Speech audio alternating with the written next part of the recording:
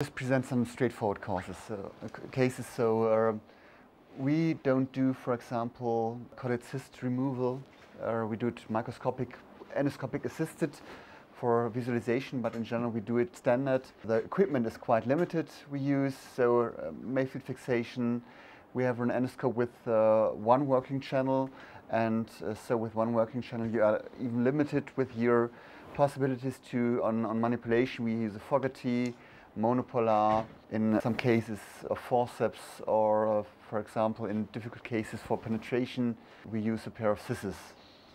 So this is a case similar to what we have seen 13 months ago with the suprasellar cyst causing the head circumference uh, to be, to be too big.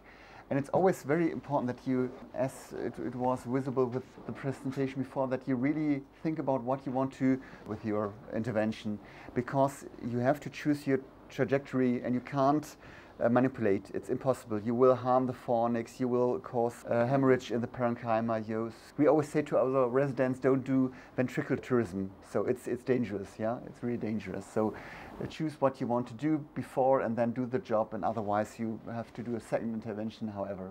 So this is after puncturing the lateral ventricle.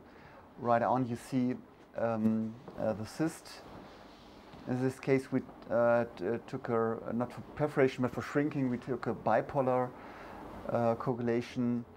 And then it just takes time. You have to shrink it stepwise.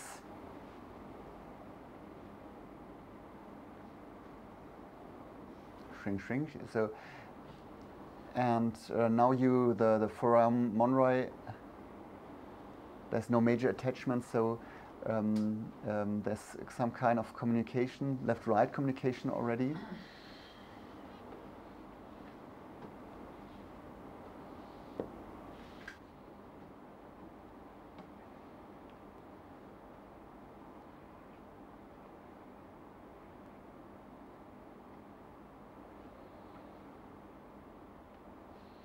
Now you have this nice view similar to what you have seen, the pituitary stalk, the posterior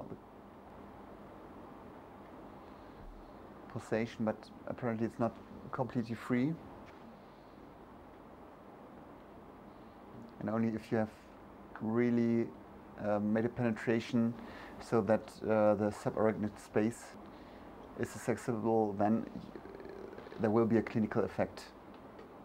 Now it's quite floating and uh, we let it like this you can could even uh, enlarge it, of course. There you can, of course, in this case where you have a lot of space, you can visualize it. So this was a, a lady with uh, 33 year old, which uh, had typical signs of acute hydrocephalus, which was visible in the CT scan. The family reported that there are some memory disturbances, and we saw this mask, uh, thalamic mask, and um, we decided to carry out a hydrocephalus treatment and tumor biopsy.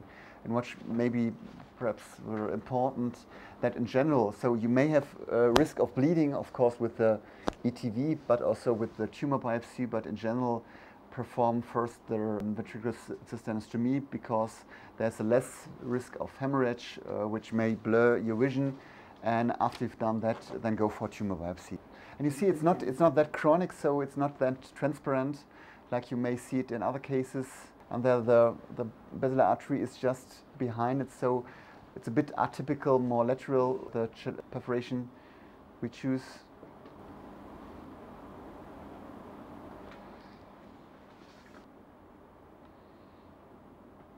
And it's a, it's a quite standard uh, procedure. That's very nice about it. You can see it anywhere. So this, this, this is a tumor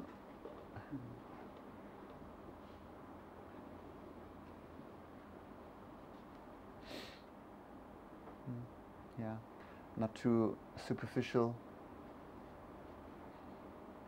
And if you if you have appropriate um, pieces, stop.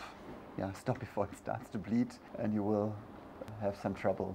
So it was a glioblastoma, but it was one of the few uh, patients. She's now six years on follow-up, just biopsy, and she went well. No, she's lucky, yes, but the memory disturbance uh, after radiation uh, therapy, uh, so she, it's a problem.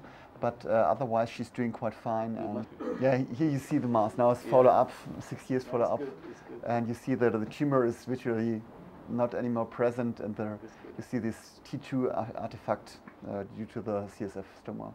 And yeah, this arachnoid cyst, it's always a matter of debate to if you do surgery or not. Patients uh, go uh, to, with headache to uh, their GP or neurologist and they make a picture like that. But this is one of these cases where there's some mass effect uh, visible and we just made parietal access perpendicular to the planned route.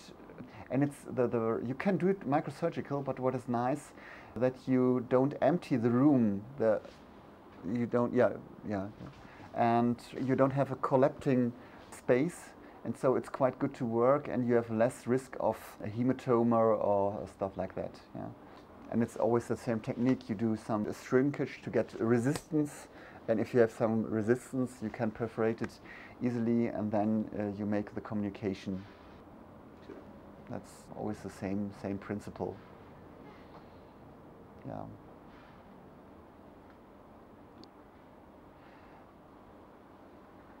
Can.